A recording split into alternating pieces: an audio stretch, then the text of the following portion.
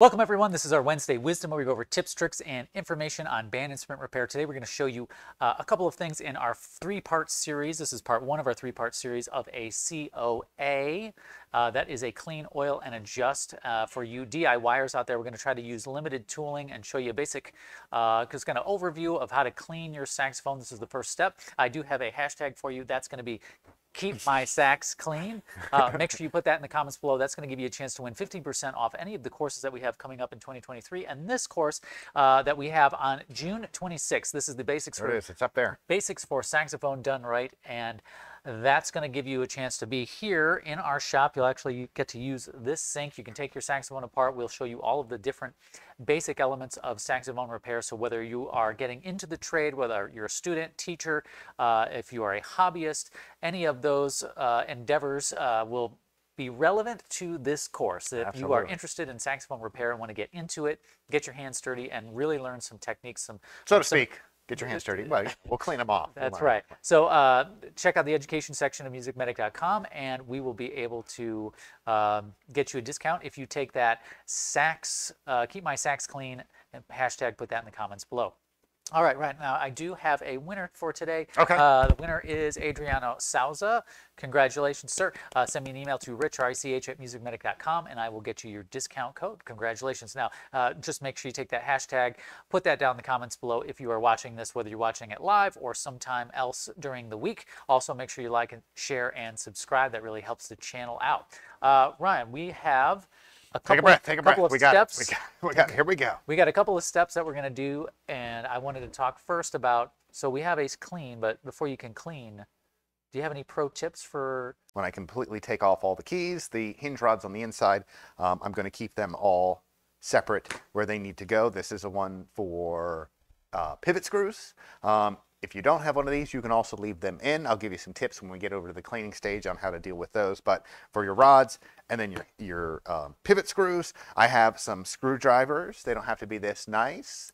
uh, that either lock or unlock, uh, but a set of screwdrivers. Different with tips is very important because there are a couple different sized of uh, hinge rods on saxophones, so you will want a couple different sized tips. Um, pair of pliers, I prefer the duckbill parallel pliers here. You can grab rods if you need to, take keys off and whatnot. A spring hook for unhooking your springs. Uh, some rags or a big old shop towel. Um, and then this stuff right here, which hopefully you can see, this is uh, 3M polish paper. This is what I use when I'm cleaning off rods and even pivot screws. Um, I will use this to check the condition, um, you know, wipe things down, um, you know, takes off corrosion, any little bit of rust. Um, but this is really nice for cleaning that up. And that's pretty what you need, pretty much what you need for this assembly. One quick tip before you start though, I'm gonna come back over there That sounds good. with you. Are you already on, on screen? No, you're here? good. You're good. We'll give it a second. Yep, here I am. One big tip before you take everything apart so you don't get jumbled, because it is like a big puzzle. Okay. Take pictures. Mm-hmm. Okay. We all have phones that all Yes. have cameras. Actually, hold on a second. No, um, we all have cameras, so take pictures of all the little parts and, and, and keys so you can see which one goes over top or underneath other ones. Uh, that way, when you put it back together, hopefully, no spare parts left over. It's always nice when I put a saxophone back together and there's no spare parts. It's like, whew, all right, I fooled them once again. So that's our disassemble part, Ryan, so- and we do have another video on that you can check out. I'll put a link to that below. Uh, let's get into the cleaning of the saxophone. What are some of the tools and supplies we need to clean a saxophone? Pretty much what you see right here behind you, okay, which is um, a lot of, well, first off, a big sink. Okay, if you're at home, you're doing this at home, you can use uh, your bathtub. Uh, but you'll notice this sink is very unique. It's actually used to develop, what, sorry, was used to Yes. develop film. Uh, you know, back in the day. Uh, gather around, children. Let me tell you a story back when film had, uh, you know, actual film in it. And you had to have it developed. But this is what they would use, which is why it's so wide but shallow. Okay, which is very nice for cleaning instruments. It's not real deep. I'm not bending into something. Yeah. I've seen um, shops take big um, outdoor garden ponds and cut a little section out of it. That way they're not bending over. But uh, that's obviously if you're in a big shop. If you're at home, you're doing it at home. bathtub works. Bathtub. Bathtub. Okay. good. Utility sink will also work if you have something big. Um, couple quick pro tips on this. Even though this is plastic, we still want to protect the finish of the instrument when we're doing our cleaning. So a lot of times I will lay something down under um, under it in the sink before I actually lay the instrument in there. Usually we'll use cardboard. Okay. Um, sometimes we'll use um, an old towel.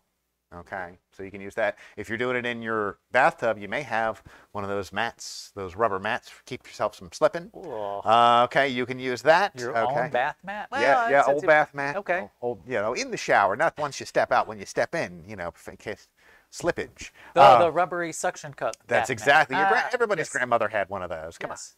So, Okay. But you can use that, and that that way you're protecting the instrument because you don't want to bump posts. Now that you have this naked saxophone body, um, it is very easy to bump and knock posts around. So you just want to be, be careful and protect things. Okay. Um, but this is our setup. Okay. What are t- what Sink. Sink. You need running water, obviously. Uh, we have both hot and cold, and this is my hose right here. Um, there's no nice, nozzle. I use the thumb method when I need to spray it down, which works. We had a sprayer, but it usually ends up breaking, so I just used the thumb method.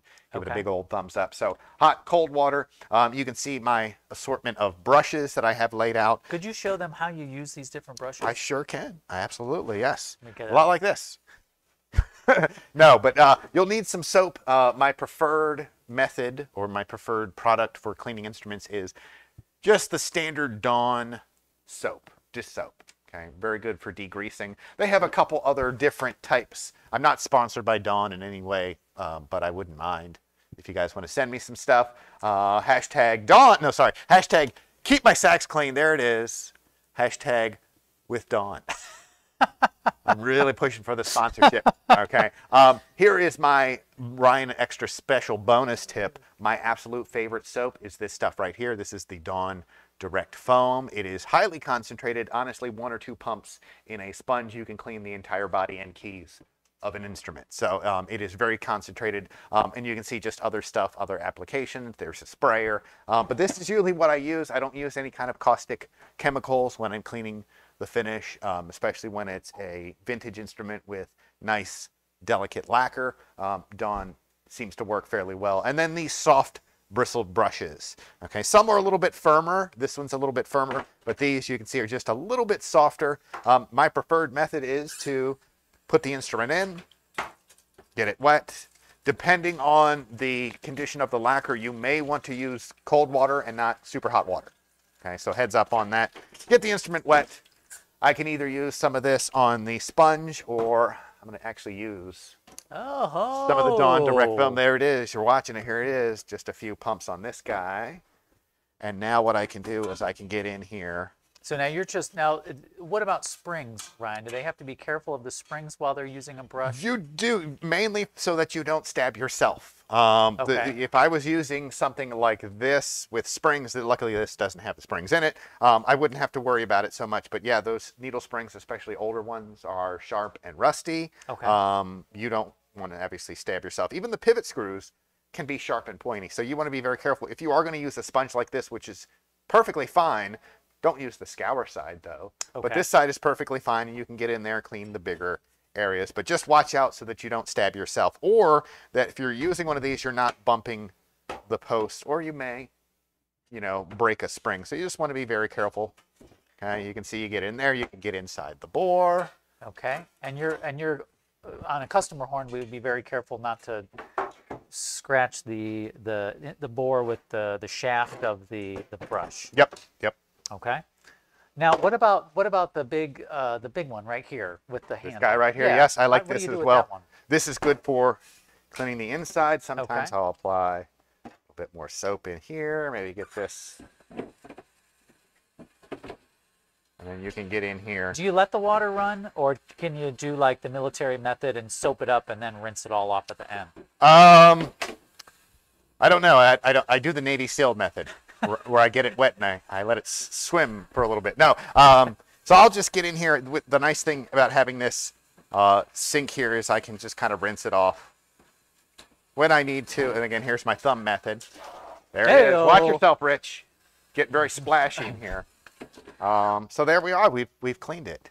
Very good. Now And- comes the drying portion. All right, so let me get let me switch the camera over so they can see a little more. A little bit more here. the close up. Bam, there we are, picture in picture. So, so Ryan, we've talked about how to clean the body. Uh, before we get into the drying, is there anything else that we should talk about keys, or do you want to talk about keys separately? Keys later. Yep. so Keys thi- later. Yeah, this is just the body. Couple things to pay attention, uh, be aware of is that you are getting the instrument wet. Um, you know, things to pay attention for would be felts on the inside of your key guards. Um, would also be any materials that are glued to the body. You want to just be careful of those. They may come off, but this is part of the COA is replacing those materials. Okay. So just be aware. You do have to make sure you, you, you dry it completely, um, especially if you have the pivot screws in. And that was my tip is if you don't take them out and put them into a, a screw block like that and you decide to keep them in, make sure they're in here tight because you don't want one Oh, going down the drain, Yeah. falling out. Um, but it's okay. You can clean it with them in, but you make sure you oil them afterwards. Okay. Okay. Any metal parts, which would be your springs and your pivot screws, you want to make sure you oil those uh, properly after you've you've cleaned this up. But drying, Yeah, let's talk about drying now. So we've got the instrument clean.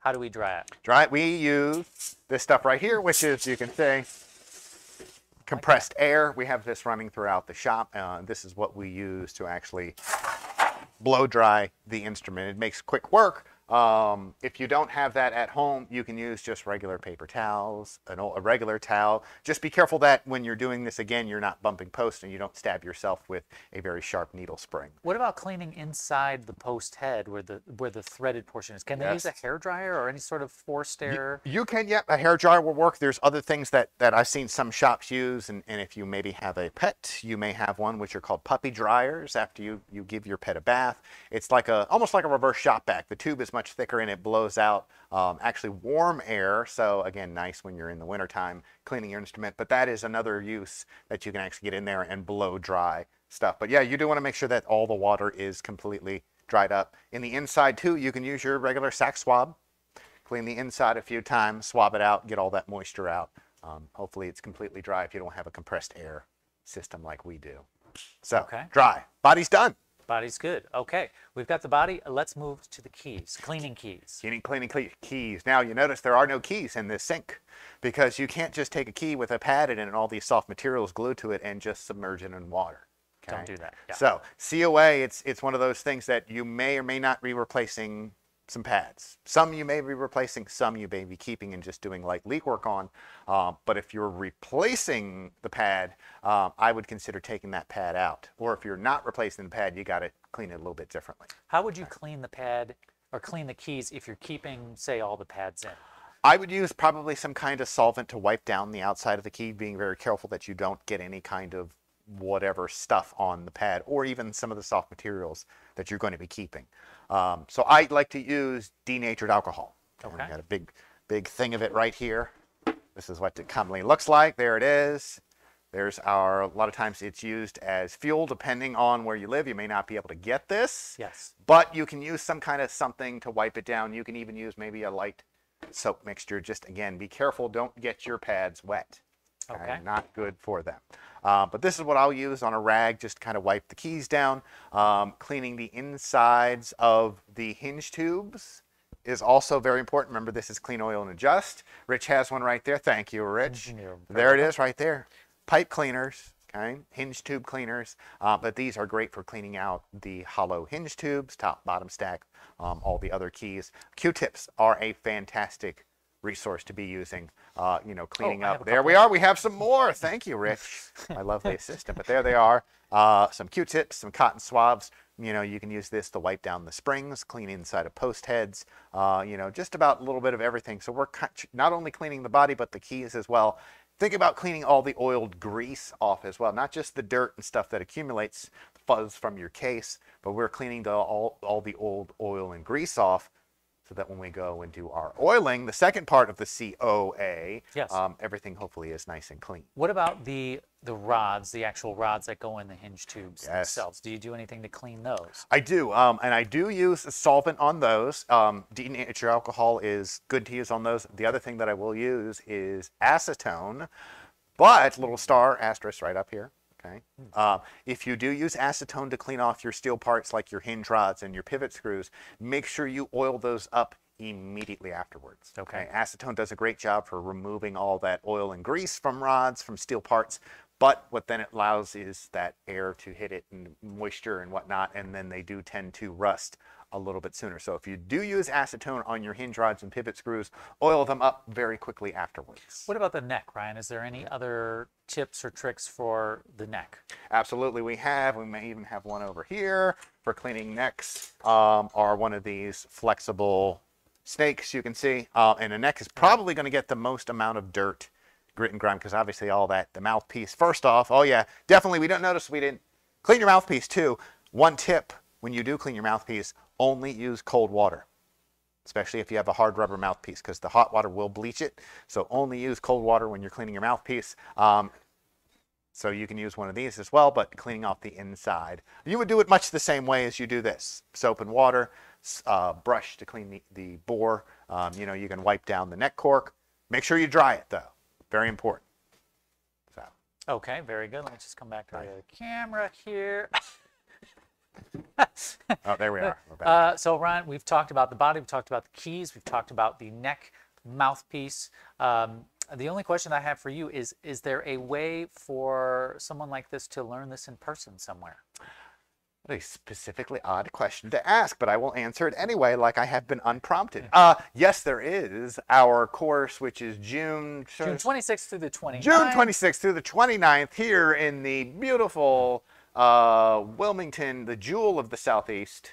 Uh, semi-precious. Semi-precious jewel of the Southeast. Uh, and that's June 26th or 29th, right here in the shop. You'll get to stand by this sink.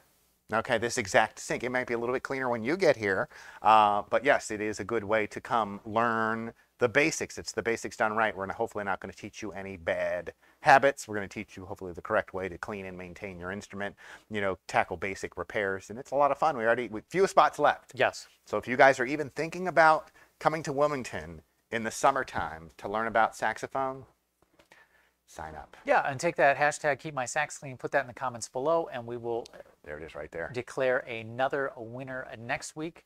Uh, Oh, Mr. Garden, uh, nice to see you. Ayako, we got some uh, comments. Ayako talked about having the 3M polishing paper. We don't have that on the website yet, uh, so you will have to find a different source for that. But the green, what is it, 30 micron? 30 micron. 30 green, micron yep. paper is really good for those hinge rods. Made by 3M.